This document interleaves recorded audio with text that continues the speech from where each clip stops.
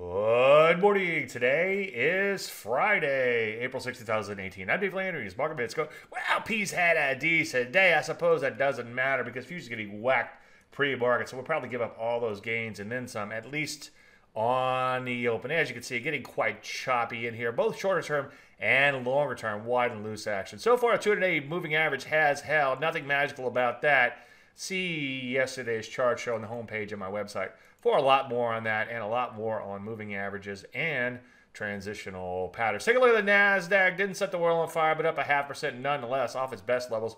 As you can see, so far holding above that 200-day moving average too. Take a look at the Rusty. Rusty's kind of all over the place, somewhat longer term, net-net basis. On a net-net basis, it really hasn't made much progress in quite a while. As you can see, draw sideways arrow. So what do we do? Well, things are really choppy out there. The best thing to do is probably nothing.